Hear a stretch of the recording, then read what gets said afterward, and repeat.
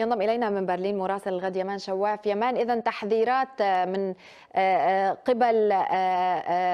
الأمم المتحدة وحتى أمريكا عن موضوع أزمة الغذاء أنطونيو غوتيريش ما فحوى التصريحات التي تحدث عنها؟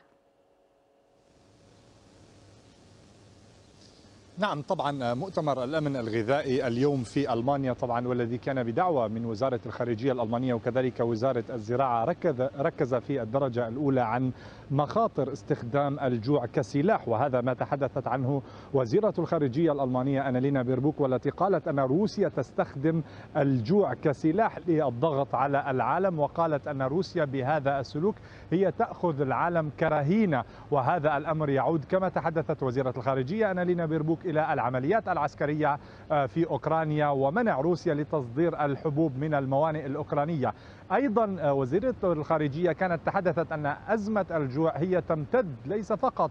فاقم هذه الأزمة العملية العسكرية الروسية في أوكرانيا ولكن هذه الأزمة أيضا واجهت تمتد إلى إلى تداعيات أزمة كورونا خلال الإغلاقات التي امتدت في عام 2020 و2021 هذه الأزمة التي ازدادت وتفاقمت وبدأ العالم يدق ناقوس الخطر وهذه الرسالة التي يود المؤتمر اليوم حملها أو أو أو, أو يود إيصالها وهي أن روسيا تحاول استخدام كما تحدثت الخارجية الألمانية أن روسيا تحاول استخدام الجوع كسلاح للضغط على العالم. لذلك هي تدعو إلى ضرورة ان لا يكون الجوع أو أزمة الغذاء أو الأمن الغذائي العالمي كسلاح بيد أحد إنما يجب أن أن ينأى الجميع بهذا الأمر عن المعارك أو الخلافات السياسية أو أو أو الصراعات بين الدول، لذلك هذه التداعيات التي أيضا حذر منها أمين عام الأمم المتحدة أنطونيو غوتريس والذي طبعا كان حاضرا اليوم في هذه الاجتماعات، اذا تحاول